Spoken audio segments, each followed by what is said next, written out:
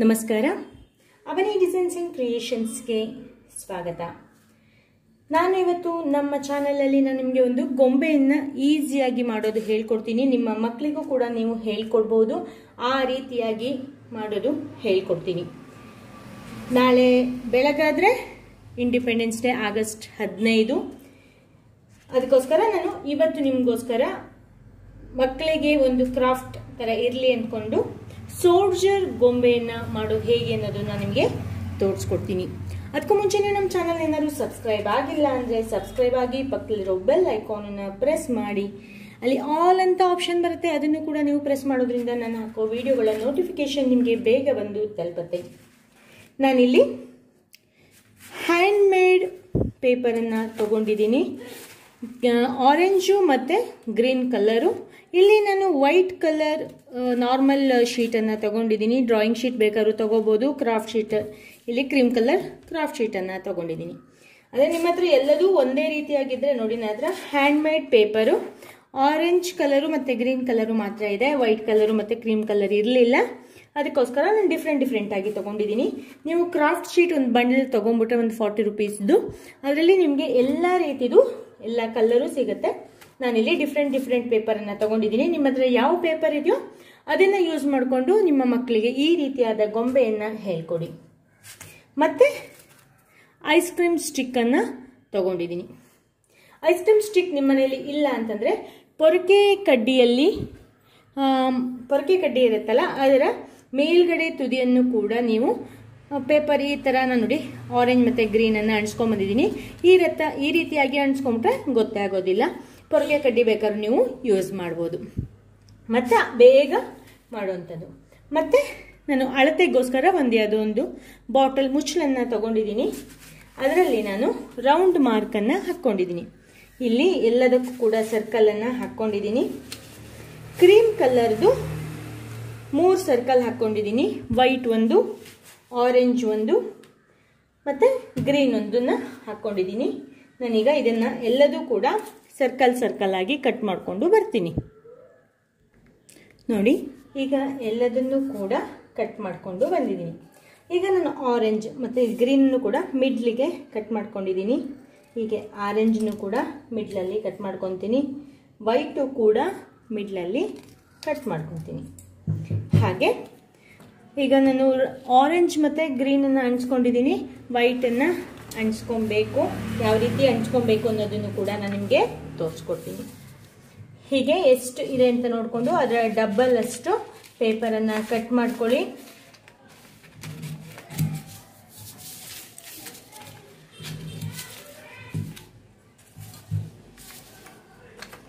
ಹೀಗೆ ನಾರ್ಮಲ್ಲಾಗಿ ಫೋಲ್ಡನ್ನು ಮಾಡಿ ಗಮ್ ಹಚ್ಚಿದ್ರೆ ಆಯಿತು. ಅಂದರೆ ಇದು ನಮಗೆ ಐಸ್ ಕ್ರೀಮ್ ಸ್ಟಿಕ್ ಅಂತ ಕಾಣಬಾರ್ದು ಅಂದ್ಕೊಂಡು. ಅಂದರೆ ಕಂಡ್ರೂ ಅಂದರೆ ನಮ್ಮಲ್ಲಿ ಮೂರು ಕಲರಲ್ಲಿ ಮಾಡ್ತಾ ಇರೋದ್ರಿಂದ ಕೇಸರಿ, ಬಿಳಿ ಹಸಿರು, ಅದಕ್ಕೆ ಹೀಗೆ ಕಲರ್ ಪೇಪರನ್ನು ಹಂಚ್ಕೊಂಡ್ರೆ ಚೆನ್ನಾಗಿರುತ್ತೆ ಅಂತ ಹೀಗೆ ಹಂಚ್ಕೊಳ್ಳೋದು ಅಷ್ಟೇ.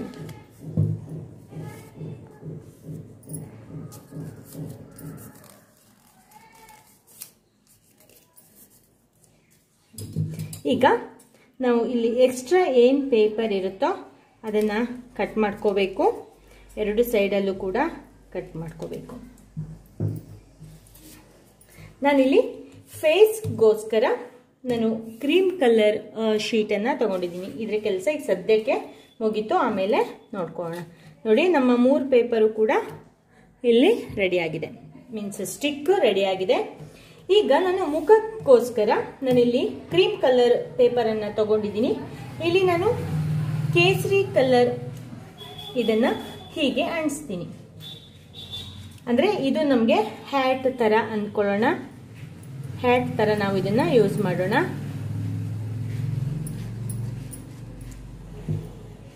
ನೋಡಿ, ಇಲ್ಲಿ ಕರೆಕ್ಟಾಗಿ ಬರೋ ರೀತಿಯಲ್ಲಿ ಇಲ್ಲಿ ಅಂಟಿಸ್ಕೊಳ್ಳಿ ನೋಡಿ, ಈ ರೀತಿಯಾಗಿ ಅಂಚ್ಕೊಬೇಕು ಈಗ ಗ್ರೀನನ್ನು ಕೂಡ ಗ್ರೀನು ಮತ್ತು ವೈಟನ್ನು ಕೂಡ ಇದೇ ರೀತಿಯಾಗಿ ಅಂಟಿಸ್ಕೊಂಡು ಬರ್ತೀನಿ. ನೋಡಿ, ಇಲ್ಲಿ ಮೂರು ಕಲ್ಲರ್ ಮುಖವನ್ನು ಕೂಡ ರೆಡಿಯಾಗಿದೆ ಈಗ ನಾವು ಇದಕ್ಕೆ ಕಣ್ಣು ಬಿಡಿಸೋಣ. ಸುಮ್ಮನೆ ಅಂದರೆ ನಿಮ್ಮ ಮಕ್ಕಳಿಗೆ ಎಷ್ಟು ಈಸಿ ಆಗುತ್ತೋ ಅಷ್ಟು ಈಸಿಯಾಗಿ ಬಿಡಿಸಿ.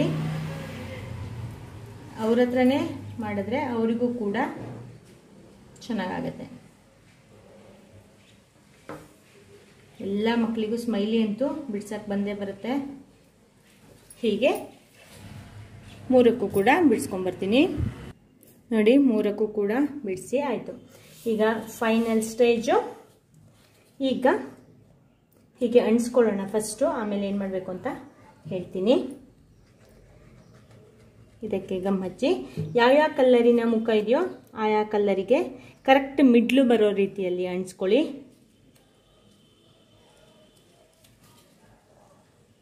ಕರೆಕ್ಟಾಗಿ ಬರೋ ಥರ ಅಂಚ್ಕೊಳ್ಳಿ ಈಗ ಇವೆರಡಕ್ಕೂ ಅಂಚ್ಕೊತೀನಿ ನೋಡಿ, ಈಗ ಎಲ್ಲದೂ ಕೂಡ ಹಂಚ್ಕೊಂಡಾಯಿತು. ಇಷ್ಟೇ ಮಾಡಿಬಿಟ್ಬಿಟ್ಟು ಸಿಂಪಲಾಗಿ ಅನಿಸುತ್ತೆ. ಲಾಲಿಪಾಪು ಕಣ್ಣಂಗೆ ಕಾಣಿಸ್ತಾ ಇದೆ.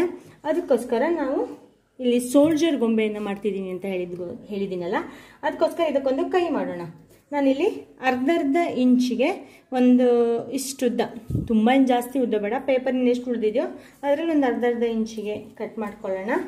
ಈಗ ಇಲ್ಲಿ ಹಿಂದ್ಗಡೆ ಹಿಂದ್ಗಡೆ ಗಮ್ ಹಚ್ಕೊಳ್ಳಿ. ಇಲ್ಲಿ ಹಚ್ಕೊಂಡು ಇದು ಕರೆಕ್ಟ್ ಮಿಡ್ಲ್ ಪಾಯಿಂಟ್ಗೆ ಬರೋ ರೀತಿಯಲ್ಲಿ ಇಟ್ಕೊಬೇಕು. ಹೀಗೆ ಅಂಟ್ಸ್ಕೋಬೇಕು ಕರೆಕ್ಟಾಗಿ ಆಮೇಲೆ ಇಲ್ಲಿ ತುದಿಯಲ್ಲಿ ಗಮ್ ಹಚ್ಚಿ. ಹೀಗೆ. ಇದು ಒಣಗಲಿಲ್ಲಲ್ಲ, ಅದಕ್ಕೆ ಒಂಚೂರು ಬಿಟ್ಕೊಳ್ಳೋ ಥರ ಅನಿಸುತ್ತೆ. ಹೀಗೆ ಗಮ್ ಹಚ್ಚಿ ಇದೊಂಚೂರು ಡ್ರೈ ಆಗಕ್ಕೆ ಬಿಡೋಣ. ಆಮೇಲೆ ಈ ತುದಿಗೂ ಕೂಡ ಗಮ್ ಹಚ್ಚಿ, ಇದು ನಮಗೀಗ ಸೆಲ್ಯೂಟ್ ಮಾಡ್ತಾ ಇರೋ ರೀತಿಯಲ್ಲಿ ಇಲ್ಲಿಗೆ ಇಡೋಣ. ನೋಡಿ, ಈ ರೀತಿಯಾಗಿ ಬರಬೇಕು. ಇದೊಂದು ಸ್ವಲ್ಪ ಡ್ರೈ ಆಗಲಿ. ಈಗ ಇವೆರಡಕ್ಕೂ ಕೂಡ ಇವೆರಡಕ್ಕೂ ಕೂಡ ಅಂಟಿಸ್ಕೊಂಡು ಬರ್ತೀನಿ. ಈಗ ಎಲ್ಲದೂ ಅಂಟ್ಸ್ಕೊಂಡಾಯಿತು. ಈಗ ಇಷ್ಟಿಷ್ಟು ಸಣ್ಣಕ್ಕೆ ಆರು ಸರ್ಕಲನ್ನು ಹಾಕಿದ್ದೀನಿ. ಇದನ್ನು ಕಟ್ ಮಾಡ್ಕೊಬೇಕು. ಎಲ್ಲ ಕಟ್ ಮಾಡ್ಕೊಂಡಾಗಿದೆ. ಇಲ್ಲಿ ಕೈ ರೀತಿಯಲ್ಲಿ ಇದನ್ನು ಅಣಿಸ್ಕೊಬೇಕು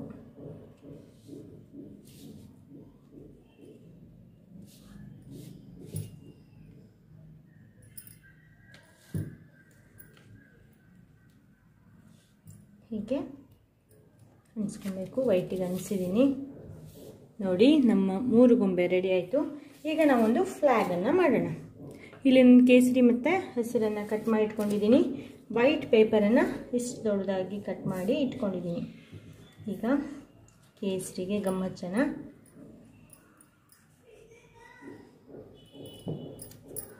ಕೇಸರಿಯನ್ನು ಅಂಟಿಸೋಣ. ವೈಟ್ ಪೇಪರ್ ಜಾಸ್ತಿ ಇದ್ದರೆ ಕೊನೆ ಕಟ್ ಮಾಡ್ಕೊಬೋದು, ಅದೇನು ಪ್ರಾಬ್ಲಮ್ ಇಲ್ಲ. ಇದೇ ಡಿಸ್ಟೆನ್ಸಲ್ಲಿ ಕೆಳಗಡೆ ಗ್ರೀನನ್ನು ಕೂಡ ಅನಿಸ್ಕೊಳ್ಳೋಣ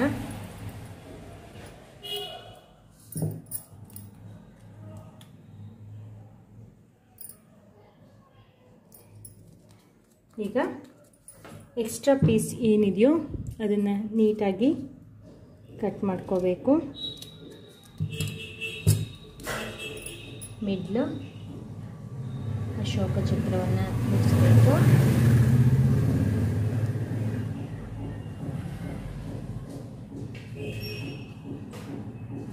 ಹೀಗೆ ಆಮೇಲೆ ಇನ್ನೊಂದು ಐಸ್ ಕ್ರೀಮ್ ಸ್ಟಿಕ್ಕನ್ನು ತೊಗೊಂಡಿದ್ದೀನಿ. ಇಲ್ಲಿ ಗಮ್ಮನ್ನು ಹಾಕ್ಕೊಂಡು ಇದಕ್ಕೆ ಅಂಟಿಸ್ಬೇಕು. ನೋಡಿ, ನಮ್ಮ ಫ್ಲ್ಯಾಗ್ ಮತ್ತು ಸೋಲ್ಜರ್ ಡಾಲ್ ರೆಡಿಯಾಗಿದೆ ಈ ವಿಡಿಯೋ ನಿಮಗೆ ಇಷ್ಟ ಆಗಿದೆ ಅಲ್ವಾ ಫ್ರೆಂಡ್ಸ್ ಇಷ್ಟ ಆದರೆ ಲೈಕ್ ಮಾಡಿ ಶೇರ್ ಮಾಡಿ ಕಾಮೆಂಟ್ ಮಾಡಿ ಸಬ್ಸ್ಕ್ರೈಬ್ ಆಗದೆ ಇದ್ದವರು ಸಬ್ಸ್ಕ್ರೈಬ್ ಆಗಿ ನಿಮ್ಮ ಮಕ್ಕಳ ಹತ್ರ ಕೂಡ ಇದೇ ರೀತಿಯಾಗಿ ಡಾಲನ್ನು ಮಾಡಿಸಿ ಖುಷಿ ಪಡಿ.